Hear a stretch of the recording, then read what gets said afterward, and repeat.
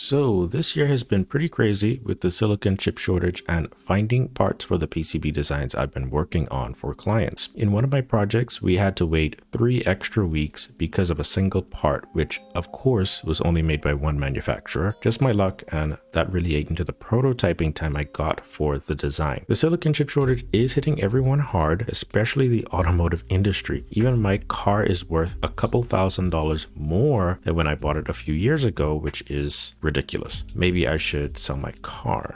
In any case, if you've done any PCB designs lately, you know exactly what I'm talking about. Just this past week, a senior PCB designer told me that one of his chips has a 380 day lead time. That's a whole year. So the chip shortage has exposed something important about the PCB design process and how we do things today and how it might need to change and for many has already started to. Here I've got a design that's mostly good in terms of part availability, but some of these parts may not be in stock. For instance, this blue LED here. So let me show you the current way I've managed my bill of materials ever since I learned how to design PCB. All through this year, I kept an Excel spreadsheet and I would do my parametric search on DigiKey, you know, put in the information or go on web Mouser or something, depending on whatever I prefer. And then I'd have to check if the part is available. This one is not, or it has a weird inventory option I don't really like. So I would either have to go to this down here or find its alternative. So I'd have to go down here and then look at its details. Then I would check the datasheet to see if it has the specifications I need and if it's available, right?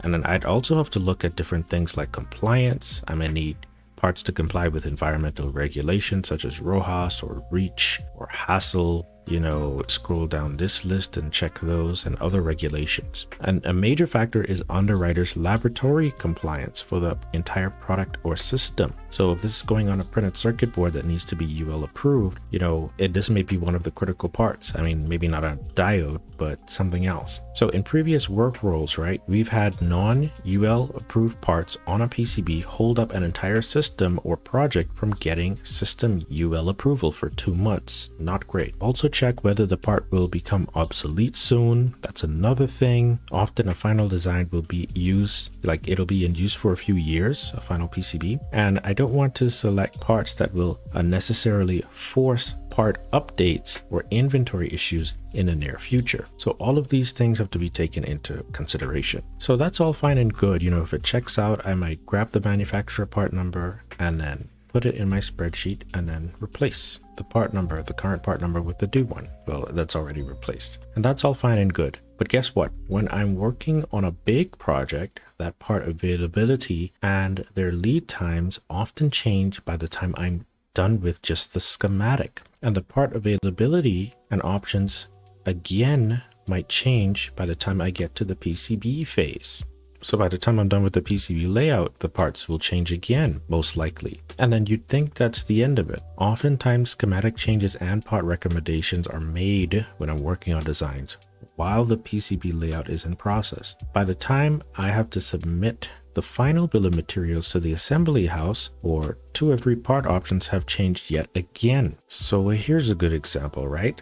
These are some bill of materials I sent to Sierra Circuits for quoting and I had multiple updates due to last minute part changes plus design for manufacturing changes because sometimes the parts weren't fully through hole or surface mount or something like that. However, even when I submitted the updated final bill of materials, there was a project later in the year where I had for a big client and where I didn't catch an inventory issue early enough and I sent the board for fabrication and assembly. So this part was only available from one manufacturer and was currently not available for purchase. Like by the time we submitted the design, it wasn't available.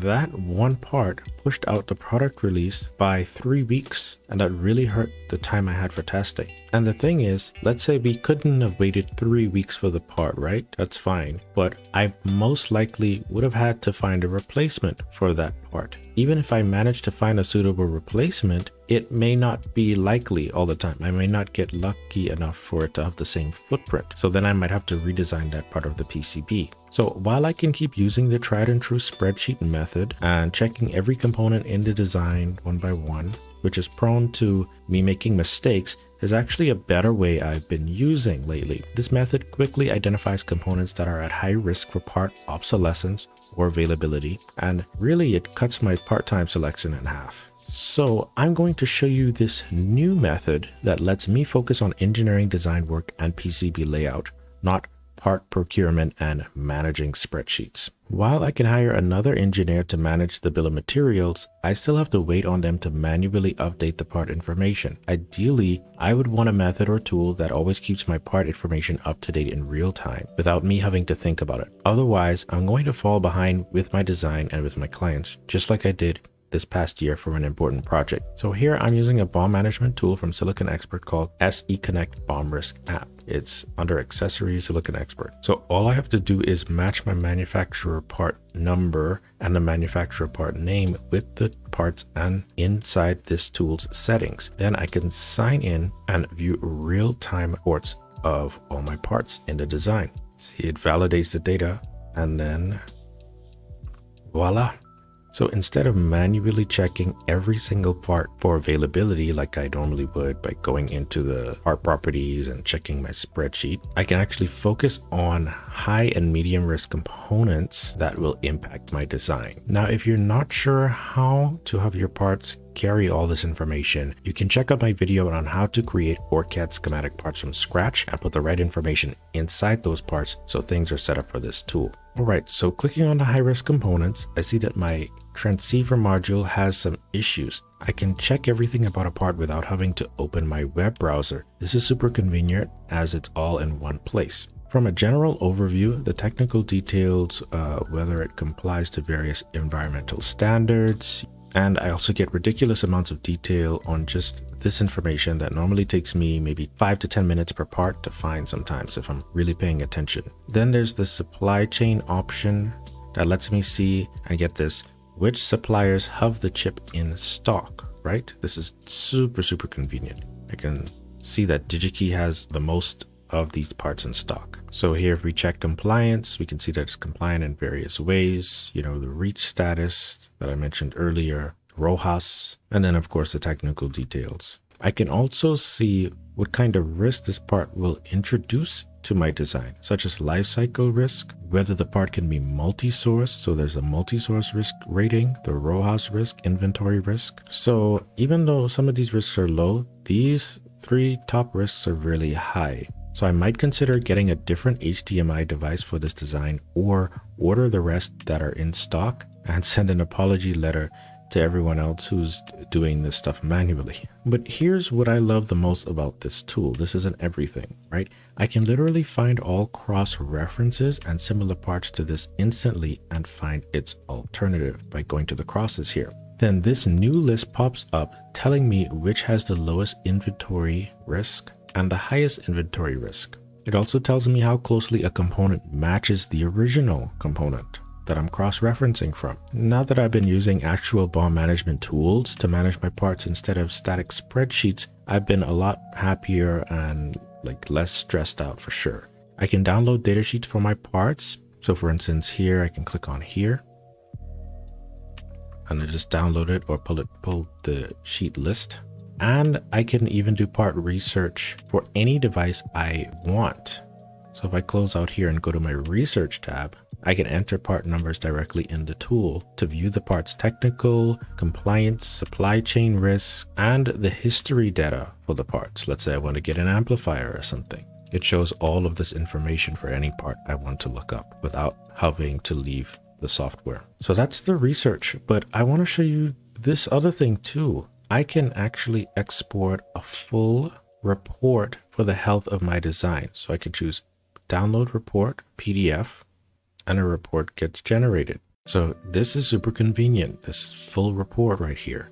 It's not only for me, but for my clients and gives a much more professional kind of experience for them as well. Here it has an overall grade, the life cycle, multi-sourcing, what percentage of the design has these issues, and even has a pie chart and other charts that just give you an overall impression of the problematic parts in your design without you having to do all of this in Excel yourself. It would take a number of hours to just get this going. So in the last eight years, when I first started learning PCB design, and designing printed circuit boards, I've been using Microsoft Excel and spreadsheets to manage my bill of materials.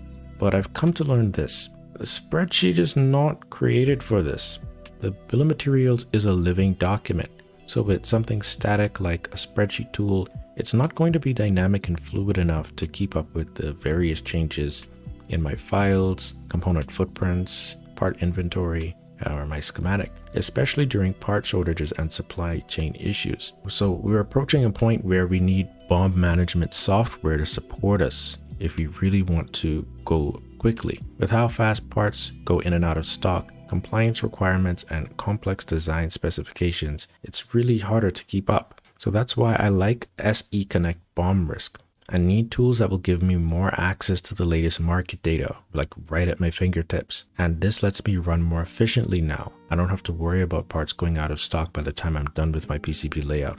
I don't have to worry about manually checking and fixing part information and making mistakes along the way, especially since I'm more of a big picture solutions kind of thinker, you know? So having something to help me with these details helps me to stay more productive. The electronics industry is moving away from Microsoft Excel, and we need to use some kind of intelligent BOM management tool to stay competitive in the marketplace. I'm not divorcing myself from Excel entirely, but if I stick with it for BOM management, then I know I'm going to fall behind, which I have this year already. With how competitive the design market is nowadays, I definitely don't want to become an obsolete engineer. You need every advantage to stay ahead, and SE Connect BOM Risk provides real-time comprehensive part data for me to make sure my design is delivered on time, and I'm sure it will work for you and other engineers as well. Okay, so thank you so much for watching this video and listening to me rant about bill of materials management.